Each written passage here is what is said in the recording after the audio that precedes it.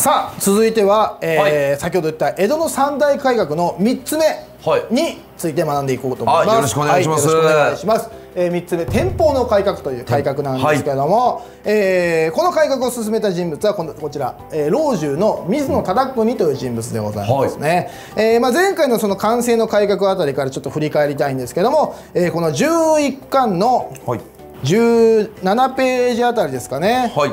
まあ、完成の改革の時からあ将軍は変わってないんですけども天保の改革まで、はい。この11代将軍徳川家斉という人物が、えー将軍をやってたんですけども完成の改革が終わってもう質素倹約の世の中をもう撤廃したというかね質素倹約をやめてもう贅沢三昧してたんですね。はい。こうやってまああのいっぱい、えーお大奥にね女中を抱えたりとかして、はい。さまあ、側室が多かったりとかしてですね贅沢三昧してるんですけどもその一方では、まあ、天保の飢饉といってこう貧しい人たちがいっぱい生まれてまた飢え死にするような人たちが生まれてきたりとかして、はい。まあ、一揆とか打ち壊しが増えちゃう。そんな世の中になって結構やっぱ世の中がまた乱れ始めたんですね。ああそうなんだ。はい、で、えーその時にまた老中この今度は水野忠国という人物が、はい。えーちょっと江戸がね徐々にこう米不足になっていくんです、えーその米不足を解消するためにこの水野忠国の弟さんが大阪にいたんですけども、はい。その大阪からお米を送ってもらうようにします。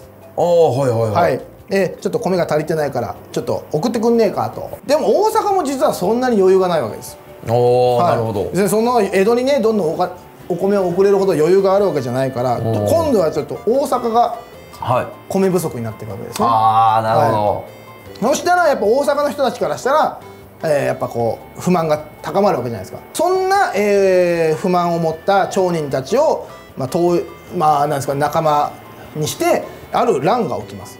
どなんはい。これがえーはい。えー大塩平八郎の乱というあ事件が起きます、はい。はい、これは、えー先ほど言ったように大阪の米不足によってはい。貧しい思いをしてる人たちが不満を持つ、その不満を持った人たちが結託してはい。ちょっと襲って、米があるとこを襲って、えはい、こんだけあるじゃないかと。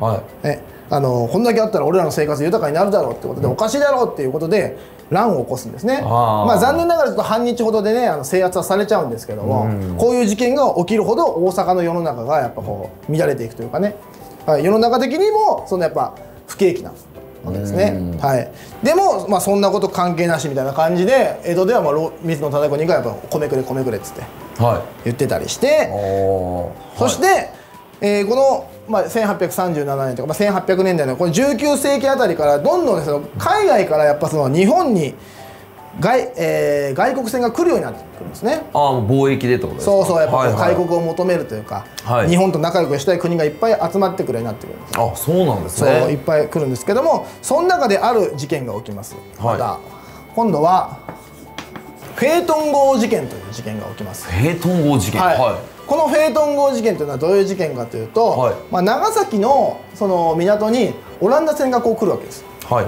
であオランダ船が来たと思ってその、まあ、オランダ商館の人たちが「あじゃあこっちだよ」って感じでその、はい。2人だけ船に乗って、はい。その来たねオランダ船に迎えに行くわけです。はい。で、えーようこそようこそみたいな感じで,、はい。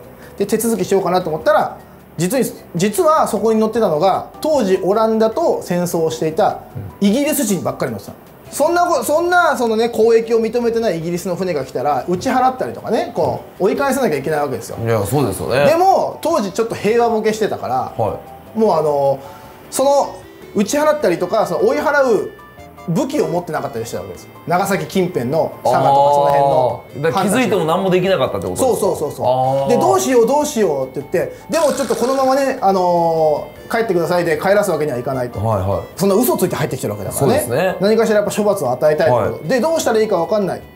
攻撃することもできないし、どうしようどうしようって言ってるうちに、はさーっと逃げられちゃうんですね。ああまあそうですよね。まお前らここにいろよ。ちょっと今こっちで相談してるからって言ってるうちに2日ぐらい経ったらフェートン号が帰っちゃうんです、ああーまあ、まあ、それ待ってはくれないですよね。ああ帰っちゃった、はい。ってなったわけです。でこのフェートン号事件をきっかけにえ今度はこういう法令が作られます。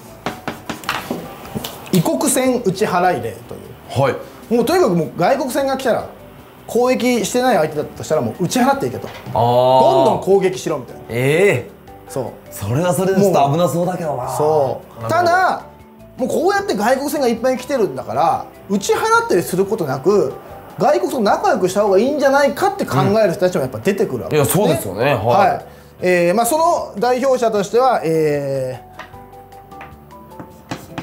こういう高野長英とか渡辺崋山と言われる人たち、はい。まあ、こういうなお名前の人たちが、まあ、い蘭学者の方々なんですけどもね、はい。こういう人たちはこの異国船打ち払い令にも疑問を抱くわけです、いやなんで打ち払う必要があるんだよと、はい。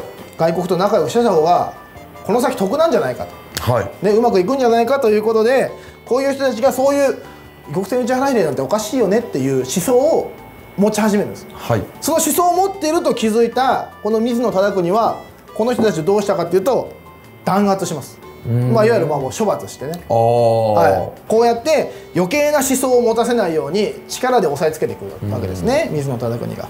そして、えーその後ぐらいに、えー先ほど言ったその大御所だった徳川家斉がお亡くなりになっちゃいますね、お亡くなりになっちゃうんです、はい。そしてそのお亡くなりになってからその息子である将軍の家吉が水野忠国この水野忠国にちょっとこの先世の中を良くするためにちょっとお前に任していいかと。はい言ってここから、えー一応天保の改革という改革がスタートしていきます。あこっからスタートこっからなんですよ。えーああいいですね。待ってました、はい。もう一つ目二つ目と変わらずここでもテーマは結局質素倹約です。ああそうなんですね、はい。えとにかくもう贅沢禁止。ーまたですか、はい、えー、P47 ページですね。11巻の47ページですけども、えー高級な着物や飾り物は厳禁。高価な菓子は禁止。人形も質素にせよ、えー花火も禁止歌舞伎はみだらである。芝居小屋は江戸の外れの浅草へ移れ、えー落語や講談も控えようということで。えー、もう全部禁止にしちゃう。え人々の楽しみを。結局なんか同じことの繰り返しみたいになっちゃうわけですね。はい。はい。でこうやって全部禁止されて結果はまた同じように庶民の不満というのは高まっていきます。ついていけない。水野忠国ー、にんでですかね、はい。学んでないんですかね。そうなのよ。そしてさらに、えーさらに田沼意次の時に、はい。株仲間というのを作ったの覚えてますか？株仲間。ああはいはい、まあ、はい、同業者同士で、まあね、はいはい。あの株仲間というのを作って、あのーまあ、みんなで儲けようよみたいな、うんうんうん。はい。そういう株仲間というのがあったんですけど、はい。この株仲間を解散させます、あはいさんはい、天保の改革の一つの、えーまあ、やり方の一つとして、えー株仲間を解散させちゃうんですね。はい。で株仲間を解散させるのは何でかというと物価を下げるためにやったんですね、うんうんなるほど。でまあ、はい。その同業者同士で結託させるよりはここを株仲間解散させて個人の戦いにした方が、まあ、価格競争みたいな感じでこう値段が下がるんじゃないかはい。みたいなことではい。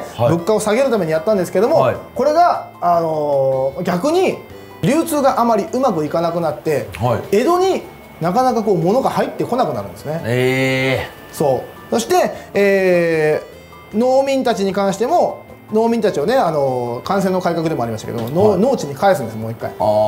またねこう飢饉とか起きてるからみんなまた江戸に来ちゃってたんですね今度、はいはい。天保の飢饉とかがあったから、はい。みんなまた江戸に行ったら何かあるんじゃないかで江戸に来てたけども帰れ帰れと。はい。みんなそのの自分たちの農村に帰れって言って返すんですけども結局、えー米の生産がなかなか増えない、ね、52ページですかね。人返しの法というね、はい。法令を出してみんなを、えー農村に返すんですけども結局、えー農村が、まあ、土地が荒れたりしててね。なかなか米も増えないから結局年貢がきついだけになって、えーみんなまた貧しい生活を送るだけになっちゃってうまくいかないと。うーんなるほど、はだから天保の改革に関してはとにかく何もうまくいってません。あそうですよね。はい、ででも水野忠邦という人間がもうとにかくもう自分のワンマンプレーみたいな感じでこうやってもいろいろ決めてったんですけども、はいただその時外、えー海外ではある事件が起きます。これがアヘン戦争という戦争が起きて、イギリスがね中国に戦争で勝ったんです。